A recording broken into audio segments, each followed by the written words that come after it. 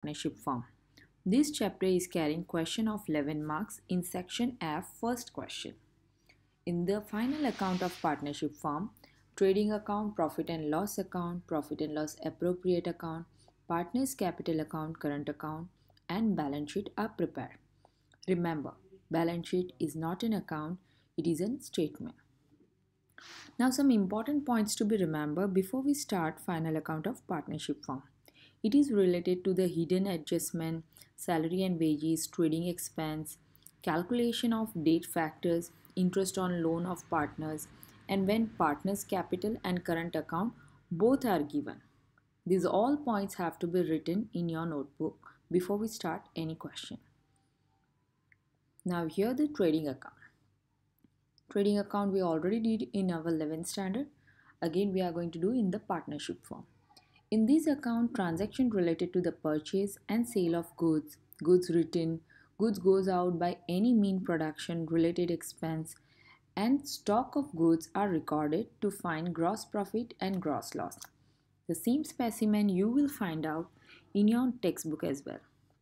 But here some entries are exempted as those entries are not going to come in any other question of this chapter. So you all can take a screenshot on your mobile phone of this specimen and write down in your notebook.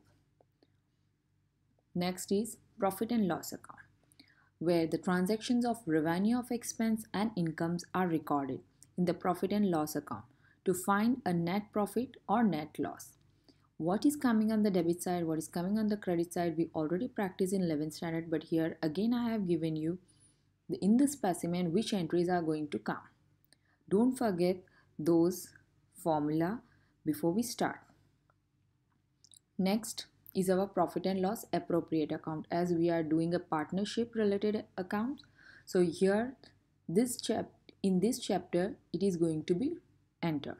Now in profit and loss appropriate account we already did, our, did in our last chapter where the same specimen is going to come. We already practiced what is going to come in the debit and credit but again you have to write it down in your notebook here. In these two points, remember these are the two methods when it has to be used is written in the detail. Please go throughout the points. And here the specimen is given. Please record it in your notebook. Next is last, balance sheet. At the end of the year, to know the financial position of business, balance sheet is to be prepared. Now here is the specimen which has to be take a screenshot and write it down.